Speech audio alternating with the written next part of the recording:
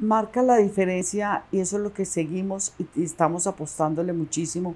Tanto es así con los tenderos que estamos, empezamos ahora con la Fundación Bavaria a trabajar para que se formalice.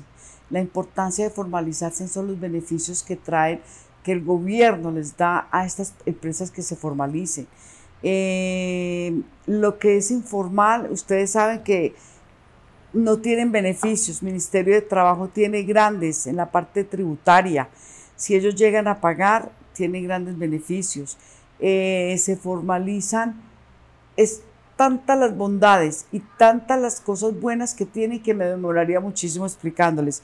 Por eso invitamos a las empresas que se formalicen, que tengan toda la normatividad legal vigente,